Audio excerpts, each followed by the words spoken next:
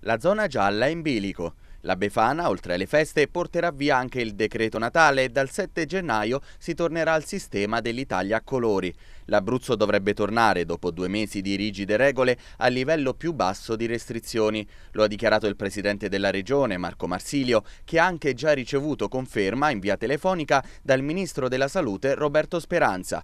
Dall'ultima cabina di regia ministeriale, che ha analizzato i dati dal 21 al 27 dicembre, è emerso che l'indice RT di trasmissione del contagio in Abruzzo è a 0,65, il più basso di tutta Italia, mentre la media nazionale è poco oltre lo 0,9.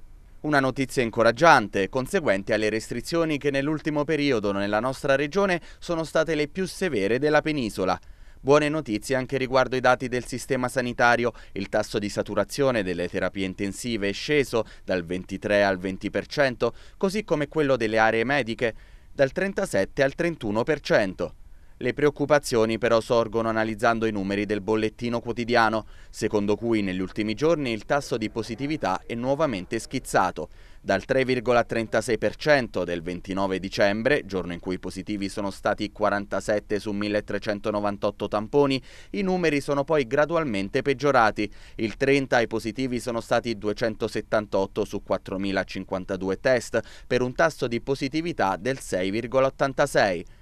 L'ultimo dell'anno invece si è superata a quota 10% con 456 positivi su 4.311 tamponi.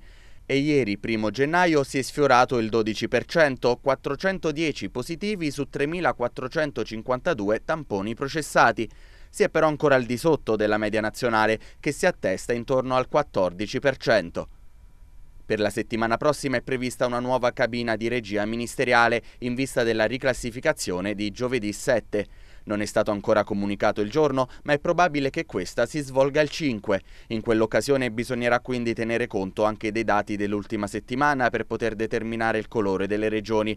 Al momento, in base ai 21 parametri su cui si impone il colore della zona, l'Abruzzo non è assolutamente in una situazione più allarmante di quella che riguarda altre regioni italiane. Tutto però è ancora in discussione. Se nei prossimi giorni dovesse continuare il trend di vertiginoso aumento del tasso di positività e i reparti ospedalieri dovessero tornare ad affollarsi, Speranza potrebbe fare dietro front non concedendo più la zona gialla. Insomma, al momento l'Abruzzo sembra raccogliere i frutti della prolungata zona rossa e ad oggi rientra ancora nello scenario di minor rischio. Ma la situazione, qui come nel resto d'Italia, è ancora instabile.